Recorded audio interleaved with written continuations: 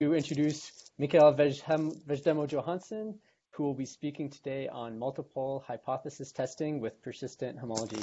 Thank you, Mikael. Thank you for having me. The web seminars have been exciting to see ever since we started doing them. Um, I want to reinforce Henry's uh, pre-show instructions. I tend to thrive on being interrupted. Uh, if you have thoughts or questions, please speak up and uh, I'll follow wherever the conversation takes us. So I want to talk about some work I've been doing lately, uh, jointly with Sayan Mukherjee at Duke and building on work that I did with a with an undergraduate student here at CUNY, uh, where we developed methods for uh, controlling for uh, multiple hypothesis testing errors when you do uh, hypothesis testing with persistent homology.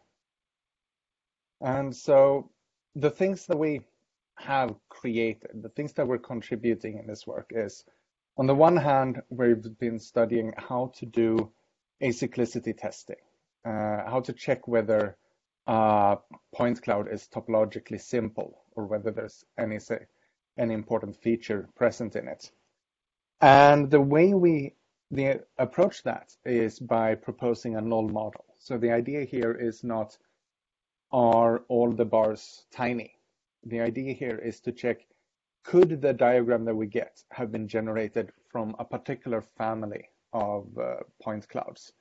The model we're proposing is to take uniformly sampled points in a region, and we have some reasons why that might be a good null model, good default, a good model for what structurelessness means. Uh, and then we propose methods for controlling both family-wise error rates and false discovery rates. And if you're not familiar with the multiple hypothesis testing type language and ideas, family-wise error rates is the classical way of handling multiple hypothesis testing.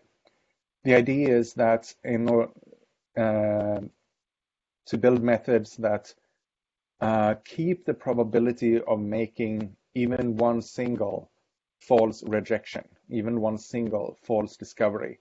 Among all the tests that you're performing, uh, stick to a to a probability level you pick in advance. Uh, this is often too harsh. It's a very it's a very very high requirement to want all of your tests to come out uh, with only true discoveries, no false rejections. So the more modern way of doing multiple hypothesis control is to control the false discovery rate. And when you do that, you acknowledge that some proportion of tests are going to come out as false discoveries. If I do 10,000 hypothesis tests and I want to say 1% uh, confidence level, then I should be expecting about 100 of these to come out as false rejections. And so false discovery rate tries to control so that the proportion of false discoveries stays at the confidence level that you pick in advance. So as I go through this talk, I want to start out by uh, surveying a little bit about what's been done already in hypothesis testing. And this is something people have been looking at for a while. There's a bunch of different uh, methods that have been proposed, ideas that have shown up in how to approach the idea of doing hypothesis testing in persistence. And there's a couple of concepts from statistics I need to introduce uh, to have the language to speak about the things that we do. And then I'm going to walk through all of our contributions. I'm going to show you how to do uh, acyclicity testing with a null model. I'm going to show you how to control for multiple testing. I have some simulations uh, that give us numbers on uh, how well we're actually doing. And I'm realizing now that I look at this list, I think 567 might be in the wrong order. I think I pushed the power and level estimates to the very end. But I have numbers that show us how close we get to uh, preset uh, confidence level when we actually take this algorithm and put them into action. And uh, so one of the work, one of the uh, statistical methods that have emerged is some work by Robinson and Turner, where they propose a two sample test. The idea is, is this cloud group of point clouds similar to that cloud of point clouds? And to test this, they have a method that uh, where you permute membership in the two groups between the point clouds and calculate the cost and do your testing on this these costs. And that's a setup that also lines up with, that also works with the false discovery rate control methods that we propose. So a couple of things that you might want to address when you do hypothesis testing. Uh, the one that led me in here is whether a persistence diagram shows any structure whatsoever, or if you have a collection of point clouds, a collection of persistence diagrams, which ones actually show structure. Where is the point cloud trivial? Where does the point cloud have topologically uh, detectable structure? Where do they uh, where do they have actual homology? We're all used to, I'm guessing, uh, we're all used to the line of argument that goes, well, if we have a point in our persistence diagram far enough from the diagonal, if we have a sufficiently large bar in the barcode, then that's a salient feature. That's something important. And then the method, the, the problem really becomes all about figuring out what large enough actually means. Um, so that's what's been underlying a lot of the statistical methods we have been developing. And then you can also ask, once you have several groups of persistence diagrams, say I pick point clouds from two different places. Say I'm generating my point clouds from genetic data and I have people who suffer from some ailment and people who don't. And I want to see if there's any difference in those groups. I can take persistence diagrams generated from genetics generated from one of the groups and compare it to the persistence diagrams generated from the genetics from the other group. And I can ask myself, is there anything homological, anything persistently homological that shows a difference between the two groups of diagrams? And doing that, we're no longer looking for whether there's any structure. We're looking for whether the structure is different. But that's also something where we can build a hypothesis test, and that's uh, where the Robinson and Turner work and some work building on that to extending from two sample tests to many sample testing. So something like what you would have with an ANOVA uh, addresses. So the first thing, as I remember the, this developing. The first thing that showed up when it comes to introducing harder statistics uh, to uh, persistence comes from Peter Bubenik and the persistence landscapes work. The idea is that behind persistence landscapes is to take a persistence diagram and convert it into a function that goes from a countable number of copies of the real numbers to the real numbers. And so basically you build a landscape here by putting out triangles over, over each bar. And when you have several tri triangles overlapping, you take the overlap and put it in the next row over. And then you put, take the threefold overlap in the next row over. And this gives you sort of a wavy dune-like almost uh, structure. Now, once you've done this conversion, you have a function.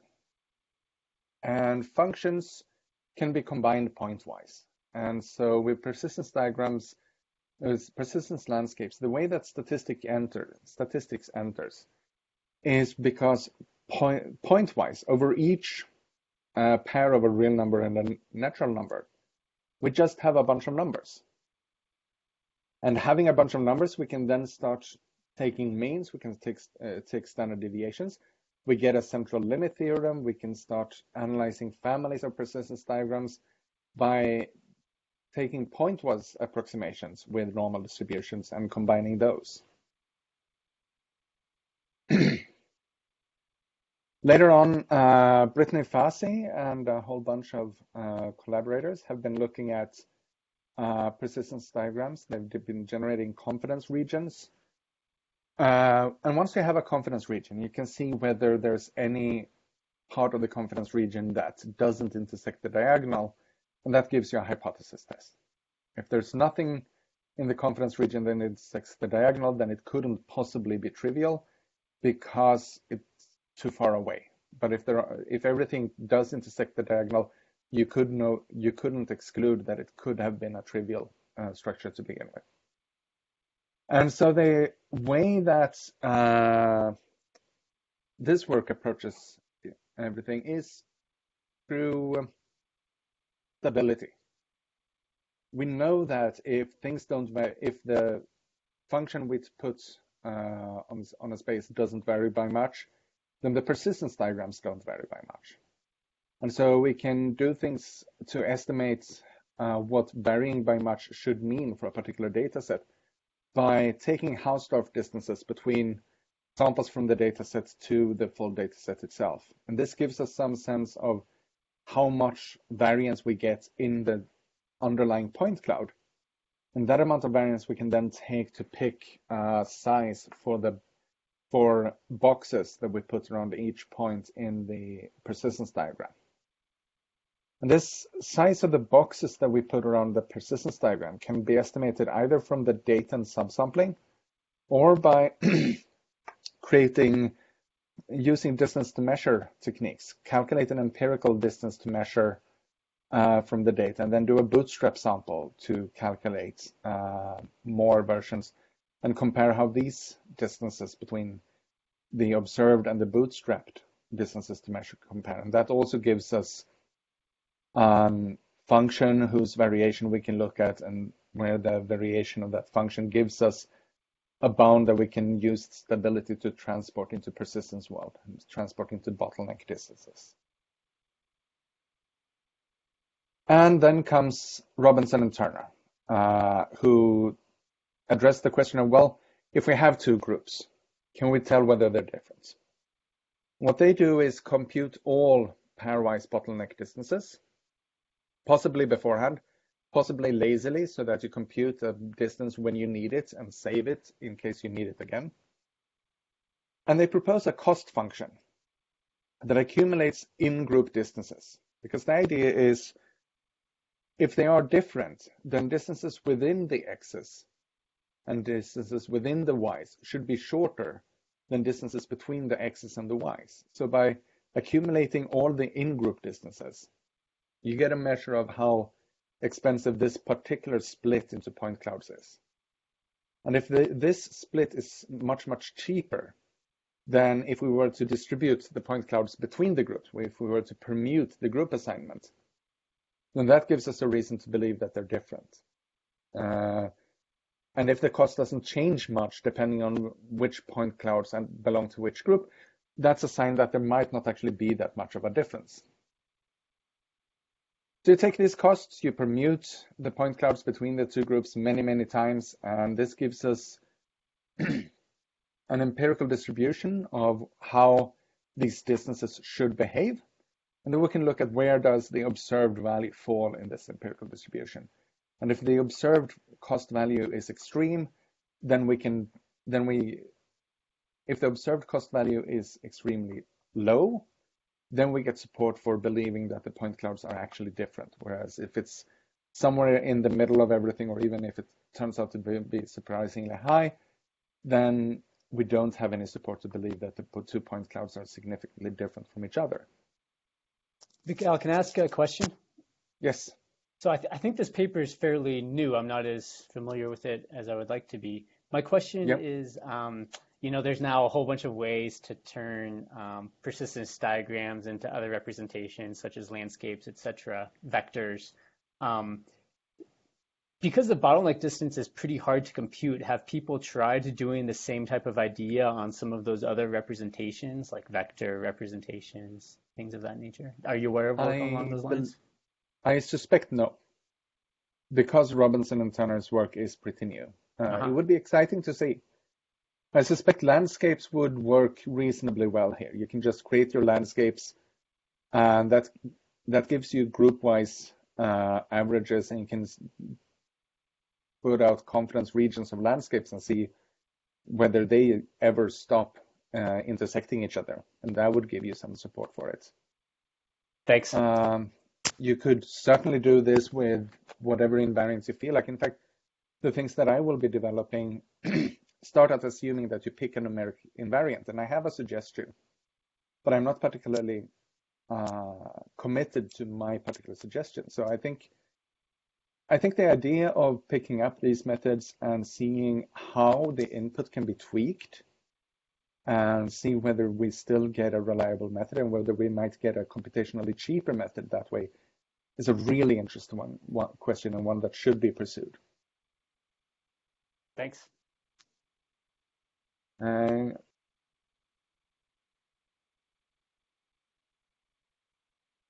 so there was a paper even more recently, following up on uh, Robinson and Turner by Cericola, Johnson, Kiers, Krock, Purdy, and Torrence, who pick up their cost function and modify it to take not just two groups of persistence diagrams, but some arbitrarily large family of persistence diagrams. And then the question becomes an ANOVA type question. Is it the case that everything came from the same source? Or could it be that some of the diagrams, no, we don't know which one, but could it be that one of the di diagram groups comes from somewhere else? And so again, by permuting group membership, we can get many different values of the cost function. If the cost for the observed split is much cheaper than any of the permuted costs, then we get support for believing that there was something different among them, that there is something that isn't aligned with everything else. So the same basic idea, but extended so that we can handle multiple testing. Now the Cericola et al. paper ends roughly where I begin. So one quote I pulled out of the paper, as, as they're writing down their conclusion, they've developed this whole ANOVA style thing. And then they say that, well, if such differences do exist, we then propose using a number of post hoc, i.e. two-space permutation tests to identify the specific pairwise difference. And this sentence in an Introduction to Statistics course would be immediately followed by, and when we do that, we need to correct from multiple testing, and so we should grab Bonferroni correction to adjust our p-values so that we don't over uh, overestimate significance just by having repeated uh, post hoc tests. And that sentence doesn't show up in the paper, which is one of the reasons why I'm doing the work that I'm doing here. Now, I want us to lay down some uh, symbols for particular things that could go wrong or particular things that could uh, cause uh, us to reject the null hypothesis, to find significance in a test. And so we could, give given a hypothesis, the hypothesis could be true or it could be false. And we could reject the null or we could fail to reject the null. Those are the things that go into hypothesis test. It could be true or false. We could believe it to be true or false. And so in this matrix here, U and S are the correct behaviors. Uh, U counts the number of times that the null hypothesis were true and we still believe it to be true. S counts the number of cases where the null was rejected and we should reject the null. And then V and T count false discoveries uh, or missed discoveries, the two kinds of errors that we can make. so I'm going to be using V to count false discoveries or false positives or type 1 errors. Personally, I hate the terminology of type 1 and type 2. It's one of the most opaque things I've ever seen. Uh, there's nothing in the term that tells you what it actually is. Uh, T is the symbol that I'll be using for missed discoveries or false negatives. There was something, but we didn't see it. Or type 2 errors. And there are two sorry, rates that are commonly uh, studied here. There's the rate of false discoveries, alpha, that's the thing that you start out with when you decide to do a test. You pick a confidence level. That is to say, you pick the level of uh, the probability alpha that you will accept. And then beta is the probability of missed discoveries. Um, there's also, I'm realizing now, uh, one more uh, symbol that I'll be using later on that I haven't put in here, and that is uh, I'll be using R uh, for the total number of rejected uh, things. And we're going to be needing that when we get to the false discovery rate control. So the there's a danger in repeated testing because every time you do, do, do a test, you have, have some probability of giving a false discovery. So when we do lots of them, we inflate that, uh, that rate. And I'm realizing I might be going a little bit slow. So I'm going to be speeding up a little bit so I get to the meat of what I'm doing.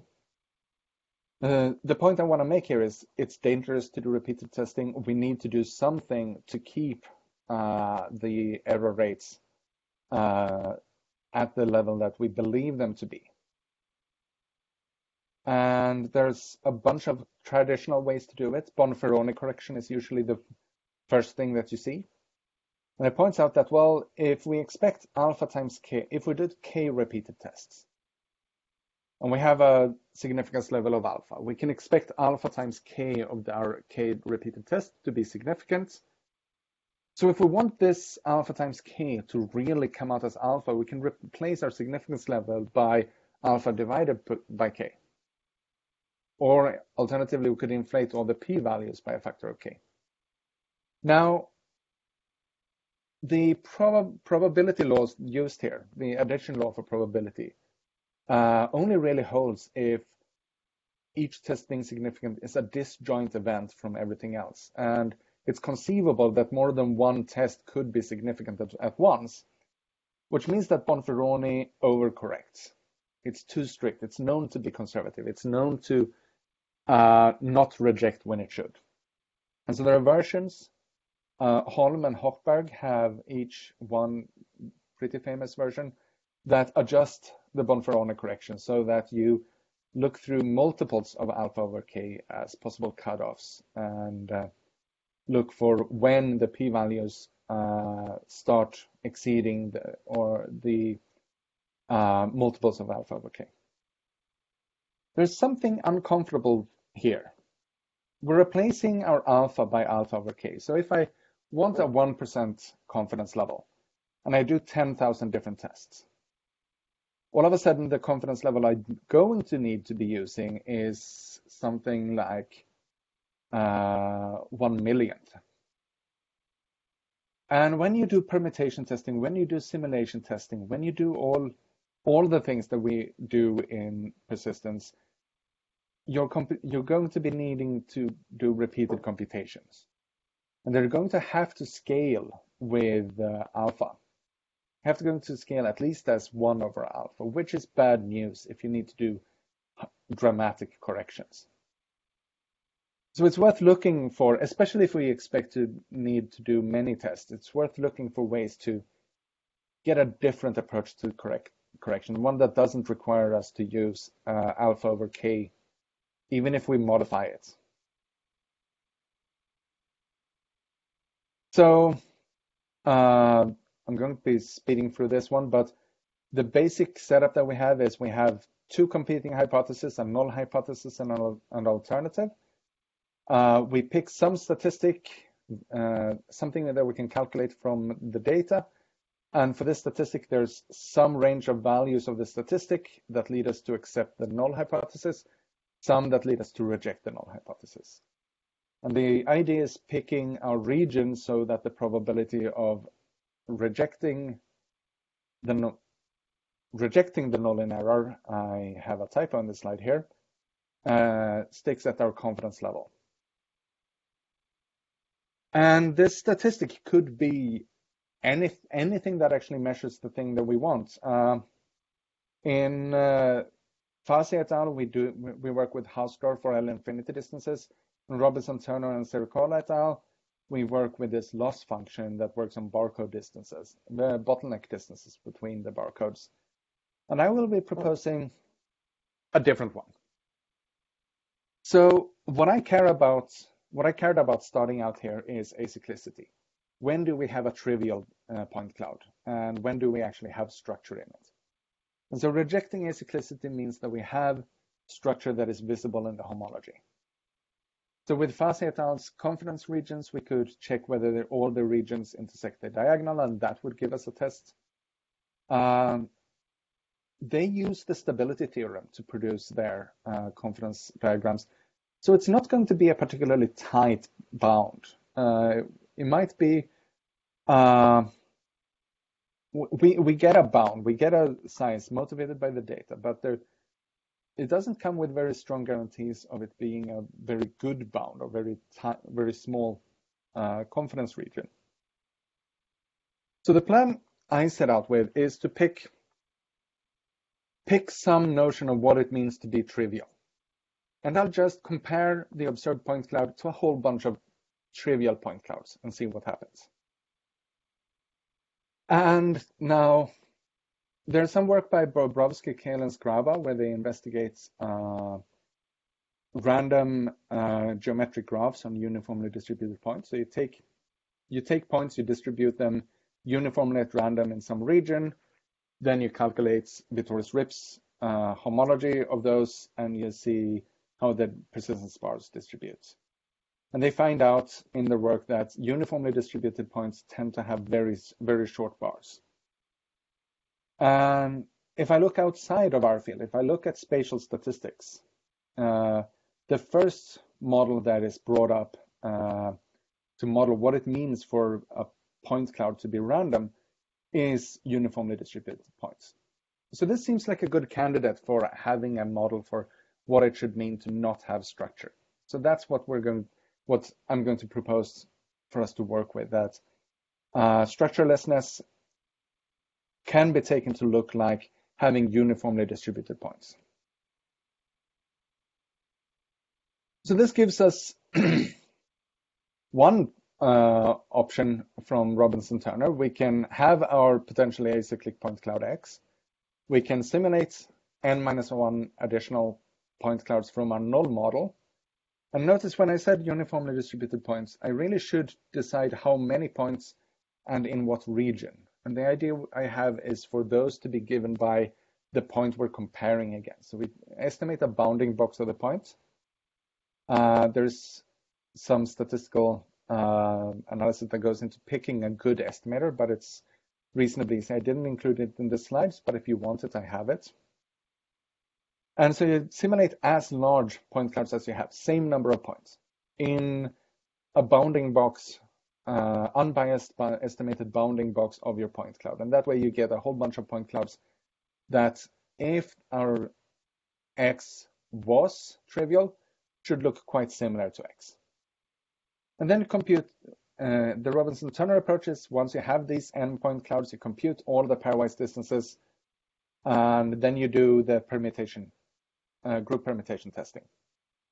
This will require you to do uh, n squared minus n divided by 2 different bottleneck distance computations. That's a pretty steep uh, workload. Even if we even if we ignore having to do all the uh, persistence homology computations, it's quite a lot of work after you're done with the homology. So my idea going into this is, well, what if we picked a better test statistic? Or better is possibly not the right word to use here. What if we picked an easier test statistic? Instead of doing bottleneck distances, let's just see how far away we are from being the trivial diagram we compare each diagram to the completely empty diagram. And if the diagram is empty, all the bars have to match with the diagonal. And so the bottleneck norm, the distance to the empty diagram, is going to have to be the length of the longest bar. Maybe up to a up to up to a constant uh, factor. You might want to multiply or divide by square root of two. I don't quite remember which one to get the uh, distance in the persistence diagram, but up to up to rescaling uh, the bottleneck norm is just the length, length of the longest bar. So now we don't need to do any matchings. We don't need to do any bottleneck distances. The price we pay is that we're not actually using bottleneck distance between points. We're using bottleneck distances to a single reference point. But it's the same reference point for everything. And it's a, a reference point that doesn't care about structure. So it's probably less insane than it could have been. And Mikael, in this is in this slide, T sub x is this bottleneck norm, bottleneck norm that you're talking about, the length of the longest bar. Yes, I'm going to be using T sub x and T sub y to refer to whatever the statistic is that you happen to be using. I see. Great.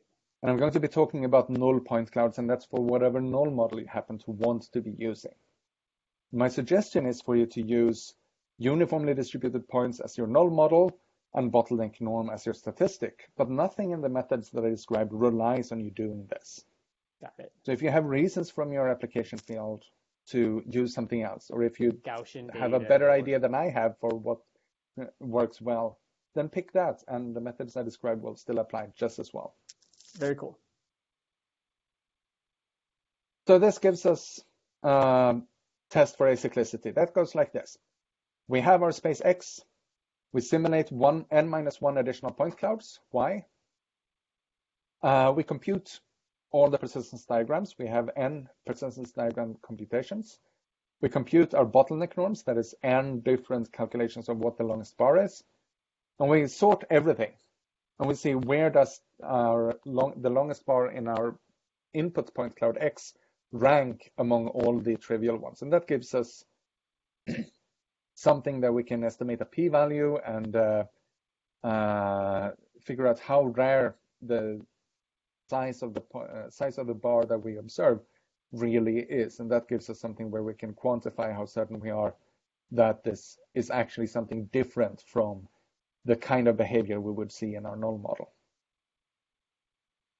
I want to mention by the uh, as a little by the way that we could of course build build ourselves a new metric from the bottleneck norm just by uh, adding norms uh, instead of checking how to go directly from uh, one space to another. See, well, how far would it be if we trivialized both spaces and sort of went from one to the other by way of the empty diagram? And because of the triangle inequality, this is going to be an upper bound on the bottleneck distance. I don't know how it compares to any L infinity distances, or I haven't really looked um, particularly much at stability questions. I don't even know how to articulate a conjecture on it. But it's uh, th there is a relationship sitting there with the bottleneck distance. If nothing else, we know that the norm will, if the bottleneck distance is large, then the norm will get pushed up as well. So the I talked a little bit about this when uh, maybe half of you were already here and before we got started. What motivated me to do this in the first place was a question I worked with on with Alisa Leshenko, one of the undergraduate students here at uh, CUNY. The question is this. When we do mapper, we create a cover and we create a nerve complex from that cover and use that nerve complex as a stand-in for the entire data set and believe that to be a picture, a model of the shape of the data. One of the fir first places I've ever seen people talk about nerve complexes and covers is in the nerve lemma. And the nerve lemma is, well, it's a family of theorems, one for every notion you might have of what simple or trivial means, that says something like this. If your cover is good, where by good we mean that all intersections of all collections of cover elements are simple for whatever notion of simple we pick, then the nerve complex is similar to the full space in a way that is parameterized by what we believe simple to mean. So if we have uh, contractibility everywhere, then we get a homotopy equivalence. If we have no significant homology everywhere, so reduced homology is zero, then we get uh, isomorphic homology groups. Uh, there's one version introduced by uh, Primoz and I think one of his students, I Govc, I think maybe, uh, where they give a persistent homology nerve lemma so that if you know that everything, uh, that all your component point clouds have a particular uh, bottleneck distance to the empty diagram, particular bottleneck norm, then from that you can calculate uh, distance between your uh, point cloud and the uh, and the corresponding nerve complex. There are some subtleties going into that that I'm not going to go into right now. So the idea we had then is, well, if we have a mapper complex and a cover, we can go and take a look. We can see, is this good? And if it is a good cover, then that might give us extra reason to believe in our mapper analysis. And if it's not a good cover, hopefully we'll be able to see why it's not good, and in the best of all worlds, go in and modify our cover, refine it, so that we get a new mapper complex that is better. Now, for the nerve lemma to fail, it's enough that one single uh, intersection displays uh, topological structure. So this is a this is a perfect setup for what's called family-wise error rate correction, where the thing we care about is the probability of making even one single uh, false discovery. And that's that's the realm where Bonferroni and Holm and Hochberg all are in play. And if we want to do this with acyclicity testing, and we do this with the null uh, model, then all of a sudden our the number of uh, the number of simulations and persistent homology calculations we need to do grow, grows proportional to the k, k, the number of tests we need to perform. So that's awkward and computationally intense and not that much fun.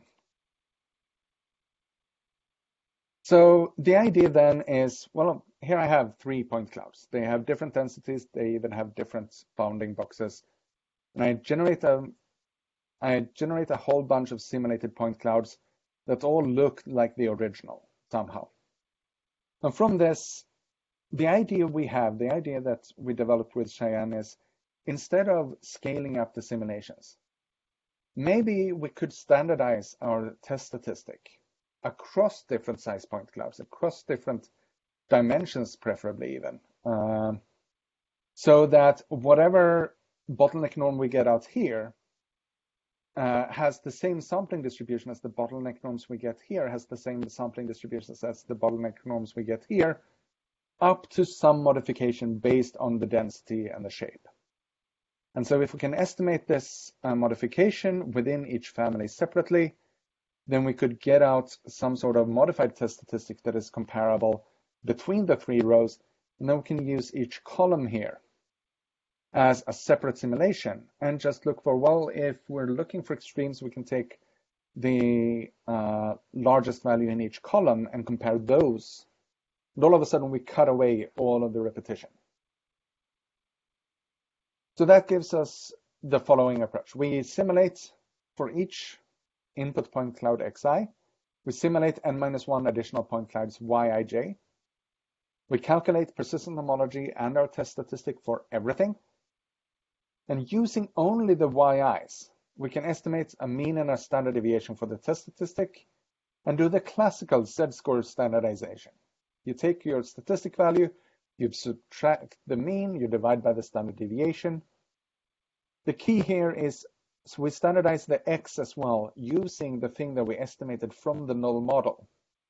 So now everything behaves as if the y was the truth, and which is what we want. We want to see whether x conforms to a world where the wise model the truth.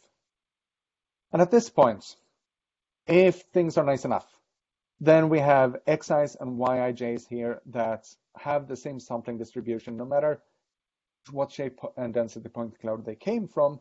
And so those can be compared to each other. And we can do the same thing. We can rank them all. We can see how extreme the observed values are among all the values. Where the next step, once we standardize everything, is we treat each column as a separate uh, simulation. We pull out the column maximum and we compare those the conditions for this to work are we need to be looking for large values of t. If we look for small values of t, we need to do replace these max with min, and we need to reject when it's small, but that's an easy fix. We need to be interested in family-wise error rate. This is some this is a way of excluding making even one false call. The whole setup here is built to do that. And we need for the standardized statistics to follow the same sampling distribution after standardization. There's no reason why the maximum bar, bar length, the uh, bottleneck norm should be the same if the density varies. But the standardization might work the same. That's the hope for this to work.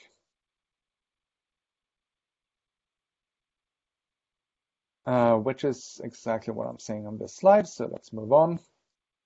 And we've done some experiments. So here are uh, quantile plots for uh, zero-dimensional and one-dimensional homology of points in boxes in the plane, uh, where uh, in each case we've taken different number of boxes, diff uh, sorry, different size boxes, different number of samples. We calculated uh, maximum bar with the bottleneck norm for each. We used that to we repeated that many, many times to generate a sampling distribution for each shape. And I pick shape and density combinations at random and compare them. And so I couldn't tell you right now which things are combined because I didn't bother writing that down. Uh, but basically what we what we should be looking for here is these are the standardized scores. And if the standardized scores behave roughly the same, then these uh, points should align on a line that follows the blue line here, which is the reference for equal distributions. And just on this glance, it looks like a pretty good fit. Of course, there's more work I need to do in order to give some sort of strong, uh, reliable uh, ev evidence for this claim, but my basic conjecture here is that it works. And the reason I'm making that conjecture is pictures like this one that I produced from simulated data. So Mikael, in these plots, one of the axes is your actual data, and the other axis is is your null model data coming from your uh, null. Model. Both axes are different instantiations of the null model. I see. I see. So right now, I'm trying to figure out whether my analysis of how standardization work works works. Right. And I only, only need to care about the null model when checking that because I only care about the null model at all at this stage. Uh, Deviations from the null model could look anyway. I have no control over what signal looks like. But I can uh, make sure that what, whatever I assume for the null model is actually true for the null model. And that's what I'm trying to argue here. And I have a motion detector in my office. So uh, we get an algorithm out of this that I basically already walked through. Given point clouds x1 through xm, sample out n minus 1 matching point clouds from the null model for each of them, calculate all our persistent homologies and test statistics, estimate mean and standard deviation row-wise from the yi, yi's, standardize each row to form xi and yij comparable sizes, compute column-wise maxima, and rank the maximum from the x's among the maxima from the y's and that rank gives us a p-value that we can then compare against the cutoff. Now to switch gears, I also want to tell you about how to deal with false discovery rates. Uh, the false discovery rates starts out, suppose that we're performing k different hypothesis tests. Instead of trying to uh, try, trying to control the probability of making even a single false discovery, let's let's chill out a bit. Let's relax a little bit. Let's just control how many false discoveries we're making. And so I'm going to write QFDR here for the false discovery rate. That is to say the expected value of false discoveries divided by all discoveries. So how many out of the discoveries that we made are wrong, are false, false positives? And this is the rate that we want to control and we want to estimate and we want to figure out how to keep this at an acceptable uh, error rate or acceptable confidence level. So by just extending uh, V and R here by, divide, by a division by the total number of observations, we see that the rate of the numbers is the same as the rate of the proportions. And these proportions uh, of the proportion of R we can estimate from data and estimate from simulations. So using the uh, null model or uh, null hypothesis test statistics, we can estimate the proportion of these. And using the observations, we can estimate the proportion of R. So we estimate false discoveries by seeing how often do we get a discovery when we know that we shouldn't? In the permuted uh, groups or in the simulated data sets, how often do we reject the null? And the total number of the total rate of discovery we can just get from uh, looking in the data. We had k different uh, point clouds given. How often do we reject among those? That gives an, uh, us an estimate of R. So this gives us a method. Uh, we draw null, null model point clouds. We standardize everything in sight, just like we did for the family-wise error rate.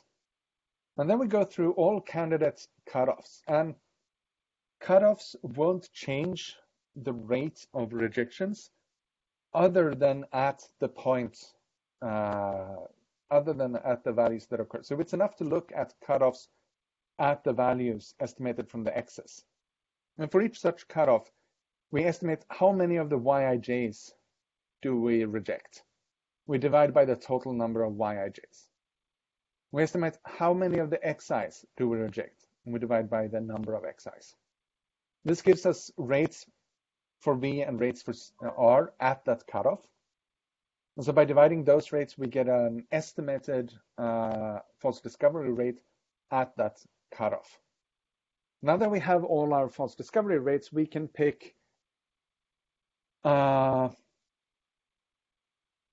we, we, we can pick the best uh, one that we can get so that we get the right uh, false discovery rate. Um, and once we have a nice C cutoff picked, we just reject everything that has a higher value than our cutoff.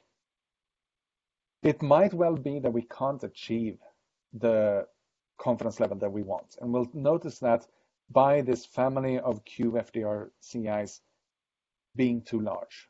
We couldn't possibly have a smaller false discovery rate than the minimal estimated value that we have from our data. That's a lower bound on the false discovery rate that we could achieve.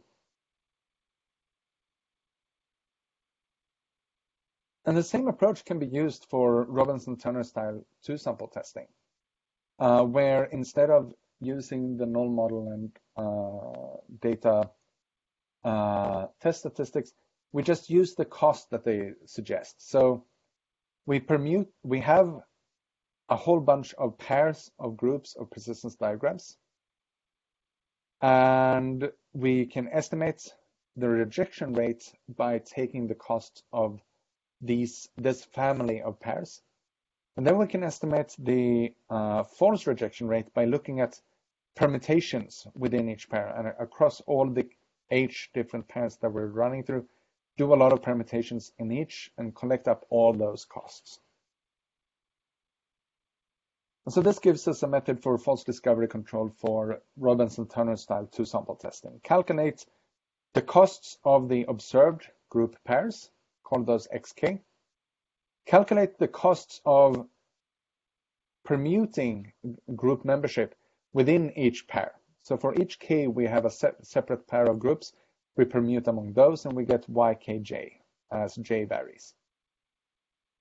Now we do the same thing as before. We count how many times would we reject a yjk, divide by the total number of yjks. How many times would we reject an xk? We divide by the number of uh, x's. This gives us an estimate for false discovery rate for each possible cutoff. So we pick a good cutoff that keeps the false discovery rate below whatever level that we want it to stay below. And again, it might be that we can't get as low as false discovery rate as we want. If we can't, then uh, looking at the minimum observed estimated false discovery rate gives us a bound on how well we could have possibly done. Now that I've laid out all of this, I want to give you at least some reason to believe in me. And starting out with false discovery rate control, it's pretty much holds by construction. We're doing a pretty forward, straightforward estimation of uh, false discoveries, discoveries when we know the null model to be true, or the null hypothesis to be true. And we do estimate the total number of discoveries, namely how many discoveries are we making with the data that we're given. And by estimating these, we can just look through all possible cutoff values for the statistic that we're calculating and see what how does the rate vary? How low can we get the rate? And we pick an appropriate uh, cutoff that gets us the rate that we want. For the for the null model case and for family-wise error rate, I've done simulations to get actual values out. And I remember now one slide that I forgot to create, namely a picture of how the point clouds I use for signal actually work. So I generate a whole bunch of null model point clouds. Then to do a power estimation, to estimate the probability of detecting structure when there is structure, I generated points and unit circles in the plane, added Gaussian noise, and have two different standard deviations for the Gaussian noise. And uh, as the number of points goes up, we get uh, quite easy to recognize circles. But for very small point counts and large noise, it gets to the point where I couldn't, by eyeballing it, tell whether it was supposed to be a circle or not. Uh, which is a point that I want to emphasize once we get to our uh, to the numbers I'm displaying here. So at in the bottom row here where it says 51%, 64%, 72%, at that's uh, that's the region where the point some of the point clouds aren't recognizable, and I think it's about a quarter or so of the point clouds that I simulate that fall in small enough sizes that they get hard to see. So uh, the 72% is getting pretty close to as good as it could have possibly been, given the, how the point clouds look. And so for, for a level, we're trying to keep track of uh, uh, having the probability of a false discovery low.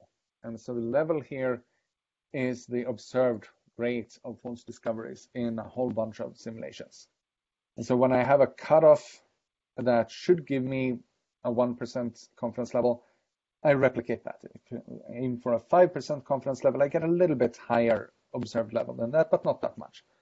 The same thing can be observed at a 10%, and we get 12%, and we don't get dramatically much higher. With a pretty low noise level and a circle in the plane, we see the circle statistically. There's no question about it. And when the noise level goes up, we still see the circle reasonably often, given how difficult the point uh, the point clouds get to recognize. This here is just for doing a single test. I have one point cloud. I want to see whether it's a circle. When I step it up to a multiple test, I have many point clouds. And I want to see if any one of them is a circle. Then it gets more difficult because, of course, it gets more difficult. But we still have uh, roughly, well, within a factor two, three of the level that we set out to get in the level that we observe in our data. And we have a pretty high power for when the point cloud that I inject has a low level of noise, so it's very recognizable. And we still do, well, better than just guessing at least. Uh, when the point cloud is uh, much noisier.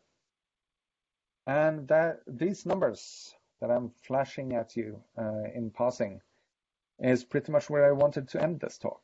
And so I want to thank you for listening.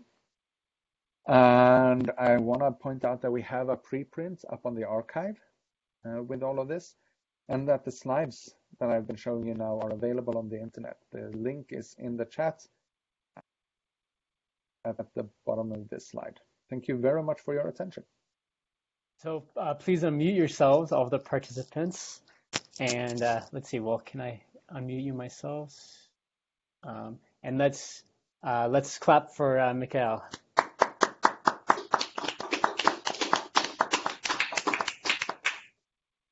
And questions okay. for our speaker?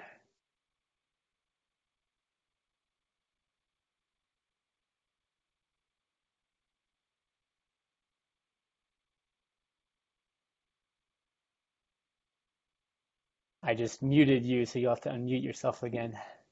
That's a good question.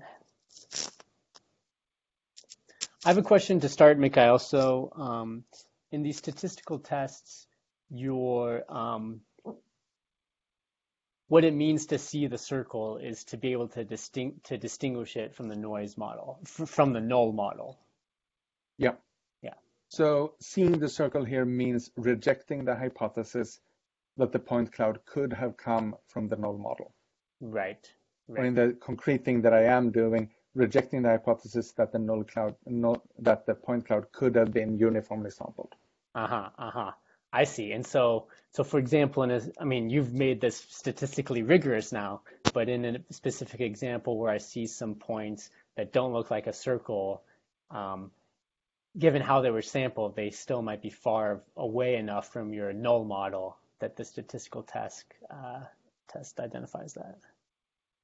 Well, if you ended up having two disconnected clusters, you should see something very similar. I didn't check that myself. I figured uh, degree one homology is a nice one to nice one to look at, and so that's uh, the one that I picked for my initial experiments to uh, have as a notion of signal. Another question: Are there um, uh, data sets or mapper data sets that you plan to try out at some point in the future with these techniques? If you have data sets you want to see tried out, uh, please get in touch with me. I don't have any concrete data sets that drive this research. This is more, as is the case with a lot of the research I do, a case of, well, this thing should be existing. I don't know who is going to find it useful, but someone is bound to find it useful and it should be a thing that exists. So I'm just going to go ahead and do it. Other questions for Mikael?